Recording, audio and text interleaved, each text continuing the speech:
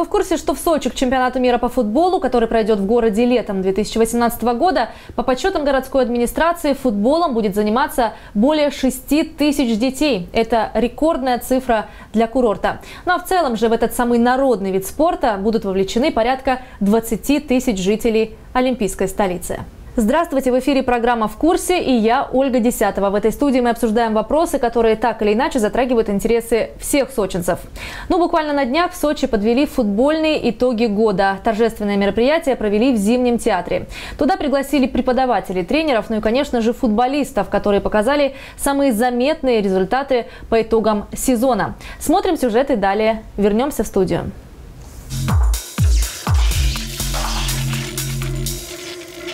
Традиционным новогодним елкам, игрушкам и мишуре, которая уже украшает холл Зимнего театра, добавилась и футбольная атрибутика. На торжественное мероприятие по случаю подведения итогов года сюда пригласили команды, которые показали самые высокие результаты в сезоне.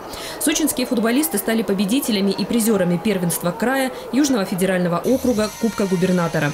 Подобных результатов они не добивались более 20 лет, а ветераны футбола, которые стали победителями Кубка края, более трех десятков. Безусловно, чемпионат мира – это стимул тому, чтобы увеличивалось количество игроков сочинских. У нас есть единый центр развития футбола через муниципальную школу номер 10, э, именно непосредственно, которая культивирует вид, единый вид – это футбол. Э, мы видим, что результаты значительно выросли в 2017 году. Это в первую очередь из-за Кубка Конфедерации. Сочинские футболисты стали участниками молодежной программы Кубка Конфедерации. Они выносили на поле флаги команд-участниц, подавали мячи во время матчей. То есть были в самом центре событий. Своими глазами наблюдали за игрой лучших футболистов мира, в том числе за открытой тренировкой сборной Германии. Мотивация очень большая, потому что никогда видели живьем таких футболистов, как сборная Германии. Мы были на тренировке. И они прям с ними проводили фотосессию, автографы получали от них. У них из-за этого большая мотивация. Да, они большие профессионалы. Э, они много умеют того, что мы не умеем. Мы пришли на тренировку и смотрели с открытыми ртами на их тренировку. Да, они большие профессионалы, мы старались посмотреть на них, научиться чему-то. Ну, кто-то, видимо, обратил внимание, научился и берем пример с профессионалов. Юные футболисты продолжают славную футбольную историю Сочи. Она, кстати, берет начало в далеком 1911 году, когда на курорте прошли первые футбольные матчи. А в 1939-м возле Ривьерского моста появился первый футбольный стадион. Уже позже в районе нынешнего Цветного бульвара было разбито 16 футбольных полей, на которых готовились к сезону лучшие команды Советского Союза. Здесь же в местном «Спартаке» начинал свою карьеру самый известный сочинский футболист, чемпион Европы Слава Митревели. Вот он врывается в штрафную площадку динамовцев. Передача Митревели. Гол. 1-0 идут москвичи. Еще одна яркая страница – команда «Жемчужина Сочи», которая в середине 90-х входила в десятку лучших клубов страны. И сегодня одна из задач – снова создать подобную команду из местных футболистов. Тем более, что все условия для этого есть. Футбольная инфраструктура продолжает совершенствоваться. После чемпионата мира сочинцам останутся три футбольных поля, которые соответствуют всем требованиям ФИФА. А пока на них будут тренироваться лучшие сборные планеты, в их числе бразильцы. Сегодня я побывал в Олимпийском парке, и меня очень удивила инфраструктура, которую вам удалось сохранить с Олимпиады 2014 года. Я потрясен увиденным, я потрясен городом, и я нисколько не удивлен, почему бразильская команда выбрала в качестве тренировочной базы именно город Сочи. Кстати, Бразилия – один из примеров для Сочи. Там футбол играют все. Ну а по расчетам мэрии к 2018 году в Сочи футболом будут заниматься порядка 20 тысяч человек. И сегодня гость нашей программы – директор Департамента физической культуры и спорта администрации города Сочи Сергей Пелосян. Здравствуйте, Сергей Вячеславович. Добрый день. Рада видеть вас вновь в нашей студии. Ну, наш разговор хотелось бы начать с футбола. Сегодня футболом э, город просто насыщен, город живет футболом.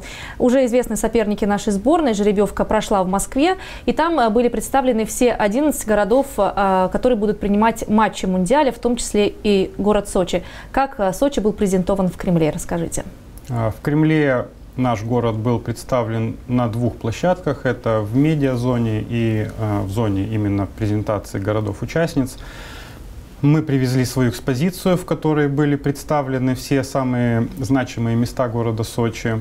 Э, всем желающим мы рассказывали о наших достопримечательностях, о том, как мы готовимся к проведению чемпионата мира. И у нас для всех были заготовлены небольшие сувениры.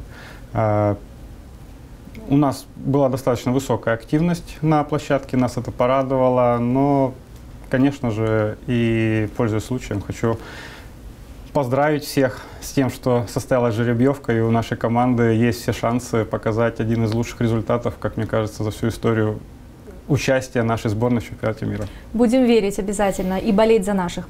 Ну, сразу после жеребьевки, практически через пару дней, в Зимнем театре уже в городе Сочи подвели итоги футбольного года.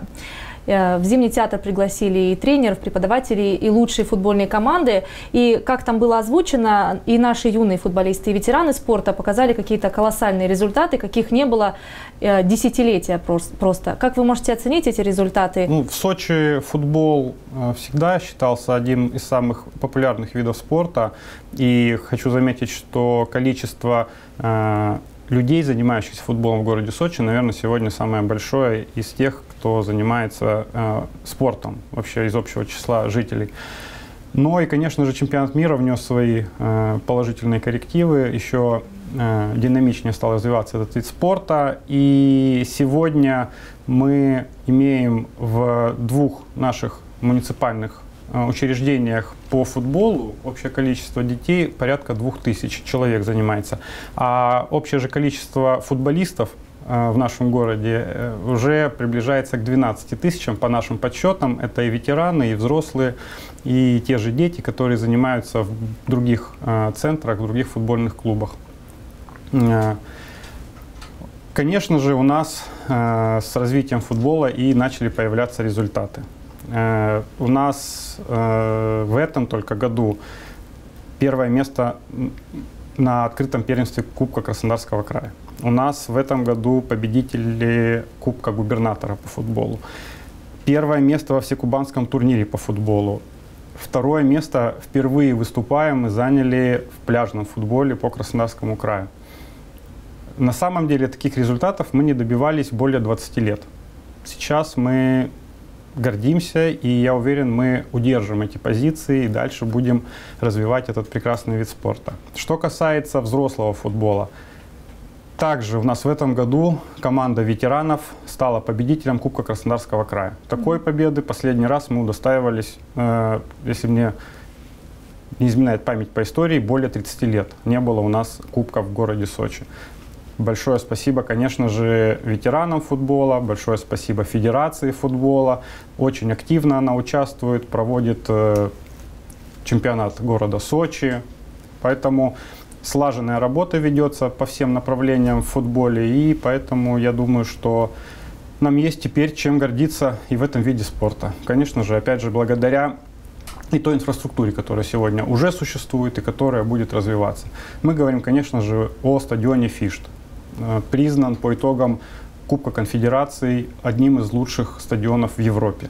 У нас появились уже готовы три тренировочных поля. Они полностью отвечают требованиям ФИФА, и все эти объекты по завершению чемпионата мира в наследство придут к нам, сочинцам, чтобы мы и тренировались дети, и в футбол играли взрослые, и опять же развивали этот вид спорта. Планируем э, организовать Два поля мы еще своими силами, это в Хостинском районе в Краево-Армянском до конца 2019 года и в поселке Красная Поляна в районе больницы номер 8, которая была построена к Олимпийским играм. Мы тоже планируем там существующее поле привести в порядок, сделать искусственное покрытие. Это позволит круглогодично там тоже заниматься футболом. Ну и в планах у нас еще на 2018 год э, из трех универсальных спортивных площадок в городе Сочи сделать три тренировочных поля, где дети также дополнительно смогут заниматься футболом. Почему мы это делаем? Э, у нас на сегодняшний день, к сожалению, не хватает инфраструктуры, очень много желающих заниматься футболом, площадки постоянно заняты, надо развиваться. Мы планируем, что если мы это все реализуем, то общее количество занимающихся футболом людей у нас э, достигнет 20 тысяч человек. А детей в наших спортивных школах мы планируем довести до 6 тысяч. И это вполне выполнимая задача, и мы уверены, что мы к этому придем. Ну, я думаю, благодаря развитию инфраструктуры и строительству новых объектов у нас будет как в Бразилии. Футбол будет на каждом шагу, в каждом дворе, на каждой улице. Ну, на самом деле в Бразилии так и есть. Футболом занимаются там, даже где нет инфраструктуры. Они просто бегают да. по городу, по улице, и везде, везде, везде футбол. И э, это говорит о любви э, этих людей к футболу. И, конечно же, я думаю, что у нас достаточно этой любви, чтобы и мы тоже также им занимались. Но после чемпионата мира ее станет, я думаю, еще больше. Ну а что касается школы номер 10, сегодня это такой единый центр развития футбола на курорте. Как школа работает? Как там много детей занимаются? Может, по каким технологиям? Технологиям. Вот для чего был создан такой единый центр? Это центр, как центр, он был создан уже достаточно давно. Но на сегодняшний день это единственная школа, которую мы не стали унифицировать. Она осталась специализированной школой mm-hmm. по развитию футбола. Там сконцентрированный лучший тренерский состав. А, у нас, кстати, сегодня в Сочи общее количество тренеров порядка 90 человек. Из них 60 э, это детские тренера с самой высокой квалификацией. И э, была поставлена задача, чтобы именно на базе 10 школы э, формировался тот э, потенциал футбольный, который в будущем будет э, составлять, как мы считаем, именно тот костяк игровой, возможно, сочинской профессиональной команды, краевой, либо будут играть в более профессиональный футбол уже на высоком самом уровне. И хочу заметить, что сегодня те результаты, которые я до этого перечислял по детскому футболу, это все 100% заслуги именно 10-й спортивной школы. Но э, за исключением тех э, э, турниров, которые проводятся как сборная города Сочи, угу. потому что в сборную города Сочи попадают по честному отбору те ребята, которые на самом деле проявили себя с самой лучшей стороны, э, как самые сильные игроки города Сочи. Там мы не смотрели на учреждения, там именно сильнейшие игроки собирались в сборную команду и ехали отстаивать герб нашего города. Ну, Сочи, конечно, живет сегодня футболом, но не только им. Воркаут – это еще одно такое направление, которое, э, на которое в этом году был сделан, я думаю, акцент. Э, множество комплексов появились в разных частях города, в селах, в отдаленных каких-то его частях. Почему решено развивать именно этот вид спорта и сколько уже комплексов для занятий на свежем воздухе было установлено в этом году? Э, по инициативе главы города Сочи э, в 2016 году, в конце, в декабре, был проведен анализ востребованности спортивных площадок в сельских округах. И по итогам э, этого обследования было дано поручение, и уже в этом году оно полностью реализовано, об, реали, об организации воркаут-площадках, площадок именно в сельских округах. Э, был сделан акцент на то, чтобы любой житель э, поселка, сельского округа, села мог в шаговой доступности прийти и позаниматься физической культурой. Главами районов были сформированы участки, был представлен перечень, была сформирована программа, заложены на ее реализации средства. И на сегодняшний день в городе Сочи только в 2017 году были построены 86 воркаут-площадок в 74 сельских округах. Это практически в каждом сельском mm-hmm. округе была организована спортивная воркаут-площадка. Э, ну, основная масса воркаут-площадок была сделана в Лазаревском и Адлерском районах. В Центральном районе было поставлено всего три площадки, но по причине того, что у Центрального района нет сельских округов. Но по инициативе главы Центрального района, глава города э, дал такую возможность, и три площадки у нас еще появились в центральном районе дополнительно к тем универсальным спортивным площадкам, которые сегодня уже существуют. Общее количество воркаут-площадок в городе Сочи сегодня достигло 95. Это очень большой результат, и мы очень надеемся, и еще раз я призываю жителей города Сочи, это все сделано для того, чтобы площадка не простаивала, а обязательно именно надо выходить и заниматься физкультурой. Мы делаем все для того, чтобы инфраструктура города Сочи увеличивалась, улучшалась, но она должна работать. Тем более, что на таких площадках могут заниматься любые возрастные группы, и взрослые, и дети, и люди старшего поколения. Да, совершенно верно. Они полностью отвечают стандартам безопасности, mm-hmm. поэтому мы всех приглашаем на эти площадки. Ну а какие виды спорта в целом сегодня э, наиболее популярны в городе и где мы добиваемся наиболее таких заметных результатов? А, сегодня мы культивируем в городе Сочи почти 80 видов спорта, если быть точным, 78. Практически все олимпийские виды спорта в городе Сочи представлены. Но у нас есть, конечно же, костяк. Это порядка 10-15 видов спорта, которые максимально востребованы жителями и являются, так скажем, традиционными. Конечно же, в первую очередь футбол, легкая атлетика, угу. теннис, насто... Ой, теннис, плавание, Э, ну, это вот основные, те, которые делают основную массу, чем занимаются у нас э, жители. Но мы говорим о видах спорта. Мы не берем в расчет то, что у нас огромное количество жителей за последние годы выходит утром, вечером на улицу и просто совершают пробежку по городу. Все мы это замечаем. Велосипедный спорт у нас активно развивается именно как э, физической культуры. Вот. Но у нас есть те виды спорта, которые сегодня еще нам стоит подтянуть, стоит э, дальше развивать. Ну а костяк это бокс у нас в преддверии чемпионата мира, который придет в 2019 году, тоже сейчас очень сильно набирает обороты и входит в пятерку самых развивающихся видов спорта. Ну, пожалуй, вот именно пока э, основной акцент именно по количеству занимающихся у нас, э, так скажем, первенство держит летние виды спорта. Ну, а какие, какие виды спорта не представлены вообще? Ну, хотелось бы, чтобы секции здесь появились, или, может быть, в ближайшей перспективе уже что-то откроется, что-то появится? Uh, у нас в первую очередь, конечно, хотелось бы, чтобы uh, полностью олимпийские виды спорта в городе Сочи были, uh, находились в городе Сочи. Мы говорим, например, о велоспорте на треке. Mm-hmm. Этого вида спорта, к сожалению, в городе Сочи сегодня нет. У нас, к сожалению, к огромному сегодня нет э, водного пола. Это для города Сочи был очень э, развивающимся видом спорта. Большое количество детей занимались этим видом спорта, но, к сожалению, это, пока что он был утрачен, и э, мы рассчитываем в ближайшее время восстановить его. Э, конечно же, на волне популярности сегодня мы э, стараемся активно начать развивать киберспорт. Это угу. большой шаг, он, очень востребован, и уже сегодня под, э, по инициативе молодых людей э, про, будет проводиться первые соревнования в городе Сочи, чему мы тоже очень рады. Это здорово, что-то Поэтому, необычное для нашего города. Конечно, нам есть куда стремиться, мы знаем, куда идти, и да, в ближайшее время постараемся те виды спорта, которые в городе Сочи не представлены, более активно им уделить внимание. Ну, в числе популярных видов спорта вы упомянули и плавание. Этим видом спорта занимается огромное количество детей. И совсем скоро любители водных видов спорта будут заниматься в абсолютно новых условиях. Известно, что школа Напоярка, это спортшкола номер два, она сейчас капитально ремонтируется.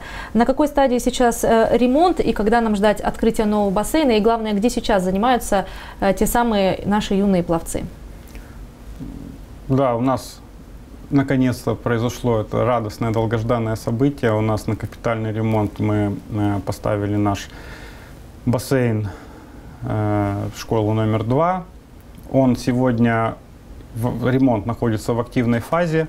Мы планируем завершить ремонт до 1 августа 2018 года, и ребята смогут вернуться уже в полностью, можно сказать, модернизированный бассейн. А сегодня же все ребята перераспределены, э, те, кто занимались плаванием, они на юных ленинцев в бассейн переведены, но там же еще был спортивный зал, и те ребята, которые во второй школе занимались в спортивном зале, они временно занимаются на территории спортивной школы номер один на улице Парковая. Поэтому никто не брошен, все занимаются, как и занимались плаванием, и ждем открытия, конечно же, долгожданного после ремонта нашего муниципального бассейна. Да, будет замечательный такой современный комплекс. А какие-то еще объекты намечен, какой-то ремонт в каких-то знаковых, может быть, а, объектах, которые, которым он уже требуется долгие годы? А, сегодня уже сейчас ведется ремонт э, на улице Возрождения 21, это спортивный зал э, борьбы. У нас запланирован и сегодня проходит экспертизу проектной документации э, организация малобюджетного спортивного комплекса на улице Донская, 58. Мы ждем до конца декабря положительной экспертизы и в 2018 году э, планируем завершить э, строительство уже этого малобюджетного комплекса. Также у нас запланировано строительство двух многофункциональных спортивных площадок – при школах номер 77 и номер 92 э, при положительном решении э, администрации Краснодарского края о софинансировании этого мероприятия. Также в 2018 году мы планируем реализовать э, два этих проекта. А, ну и, как я уже говорил, это наши футбольные поля, три поля на базе универсальных спортивных площадок и два поля, это в селе Краево-Армянское и в поселке Красная Поляна. Также у нас э, в планах до конца 2019 года провести ремонт всех ранее построенных наших многофункциональных спортивных площадок. Более пяти лет эти площадки активно эксплуатировались, ни разу конкретно капитально не ремонтировались, только проводился косметический ремонт. Многие из них требуют уже приведения их в порядок. И мы планируем в 2018 году начать их ремонт. До конца 2019 года все те площадки, которые требуют ремонта, мы планируем завершить. Ну, на мой взгляд, еще очень интересный вопрос – это сдача норм ГТО. Много ли сочинцев уже получили заветные значки? Насколько вообще активно сегодня развивается и продвигается этот проект на курорте? А, сегодня в городе Сочи зарегистрировано 50 тысяч сочинцев зарегистрировались на сдачу ГТО. И мы сегодня реализуем третий этап. Угу. Первые два этапа были реализованы в начале 2017 э, и в 2016 году. Это подготовительный этап. Сейчас активная фаза принятия ГТО.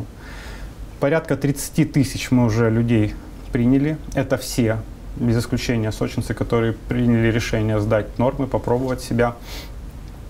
Э, и мы также у себя реализовывать начали уникальный проект. Это прием ГТО у людей с ограниченными возможностями. И э, то количество, которое мы сегодня уже приняли, э, мы лидируем по Краснодарскому краю вот именно в этом направлении по приему ГТО у людей с ограниченными возможностями. Опять же, пользуясь случаем, хочу всех призвать, что это проект социальный, это очень хороший и очень правильный проект, поэтому очень просто зарегистрироваться, главное захотеть, и мы с удовольствием примем у любого сочинца эти нормы, и каждый для себя поймет, что ему либо надо дальше продолжать заниматься, чтобы заслуженно получить золотой значок, либо просто начать заниматься физкультурой. Да, будем ждать э, желающих проверить себя. Ну и мы уже привыкли, что в Сочи проходит какое-то колоссальное количество крупных спортивных мероприятий, очень престижных. Помимо чемпионата мира по футболу, которого мы ждем летом 2018 года, какие еще мероприятия в календаре нашем уже э, распланированы? Ну, хочется сказать сначала про 2017 год. Угу. У нас в 2017 году мы провели 181 крупное мероприятие. Это мы не говорим о городских, мы говорим как минимум это краевые, всероссийские международные мероприятия. 16 международных мероприятий – это мы говорим о Кубке Конфедерации, мы говорим о э, военных играх. Э, в рамках проведения фестиваля молодежи и студентов проводилось очень много спортивных мероприятий общее количество спортсменов, тренеров, участников соревнований крупных, порядка 73 тысяч человек приехали угу. в город Сочи. Количество зрителей, я думаю, даже будет сложно посчитать, но это сотни тысяч человек, которые посетили эти мероприятия. А, администрация города, сочинцы, мы всесторонне поддерживали и помогали в организации этих мероприятий. Это и медицинское сопровождение, это и волонтеры, которым огромное спасибо, э, активно принимали участие активные зрители. Все, транспортная инфраструктура, безопасность, все сработало, за все, за любое, каждое мероприятие нам говорили спасибо, все уезжали довольные, удовлетворенные. Недавно чемпионат мира по самбо прошел, тоже признан одним из лучших за всю историю угу. проведения чемпионатов. Это становится уже традицией, что здесь в Сочи проходят на самом высоком уровне mm. разные турниры. А, ну это правильно, потому что имея опыт такой проведения таких спортивных мероприятий и держа уровень, держа планку, мы понимаем, как нужно проводить мероприятие, mm. мы знаем, как его сделать одним из лучших, и э, так оно и выходит. Но что в планах у нас на 2018 год, это, конечно же, чемпионат мира по футболу в июне месяце, о котором все знают. Это уже традиционный этап Кубка Формулы-1, который в этом году пройдет, в 2018 году пройдет в сентябре. А, запланированы у нас а, Кубок мира, этап Кубка мира по фехтованию, этап Кубка Европы по карате среди молодежи. А, то есть у нас очень насыщенный график, это вот из таких из больших мероприятий. А, и Я думаю, что это еще не окончательно даже сформированный график, не окончательно сформированный календарь. Поэтому мы не менее 180 точно мероприятий будет проведено. И я думаю, что на таком же уровне мы это все будем проводить. Да, я в этом тоже уверена. Сергей Вячеславович, спасибо большое за очень интересный разговор и спасибо, что пришли к нам в студию. Спасибо. Но я напоминаю, что гостем нашей студии сегодня был директор Департамента физической культуры и спорта администрации города Сочи Сергей Пилосян. Спасибо вам огромное. Ну и вы смотрели программу «В курсе». Будьте в курсе всего того, чем живет наш город Сочи. В студии была Ольга Десятова. Всего доброго. До встречи в эфире.